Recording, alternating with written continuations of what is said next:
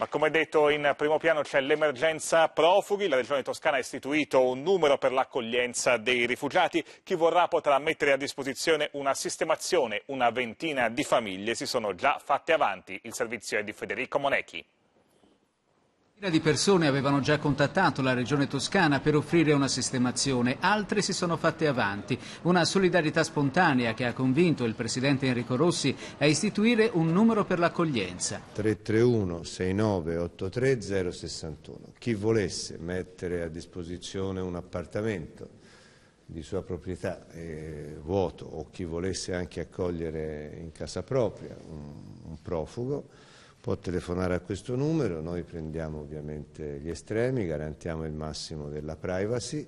Il governatore concorderà con le prefetture come impostare il rapporto con i privati e chiederà un incontro anche all'arcivescovo di Firenze Betori.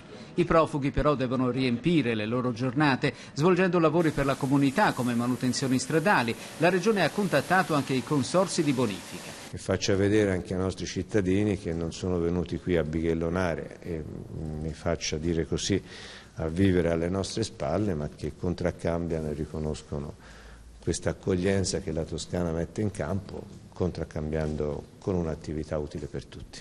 L'appello del Papa alle parrocchie, la decisione della Merkel di aprire le porte della Germania e la foto del piccolo Aylan hanno convinto molti che non ci si può tirare indietro. C'è una svolta che le posizioni ottuse eh, di chi pensava che si potesse fare a meno di, degli obblighi eh, giuridici ma anche morali che ci impongono di soccorrere e assistere chi ha bisogno, sono state battute e c'è un moto positivo di solidarietà.